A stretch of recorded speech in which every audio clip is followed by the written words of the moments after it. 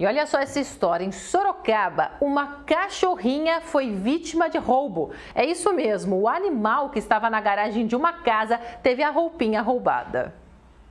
Nas imagens dá para ver que o homem se aproxima do portão, faz carinho na cachorra e analisa o material da roupinha. Em seguida, o pet se apoia no portão para receber mais carícias e o rapaz se aproveita para tirar a roupinha dela e sair andando tranquilamente. O caso aconteceu na sexta-feira no centro de Sorocaba.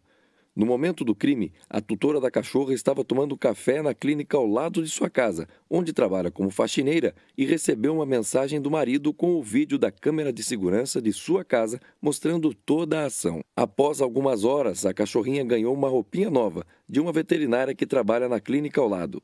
Nenhum boletim de ocorrência foi registrado. Inacreditável.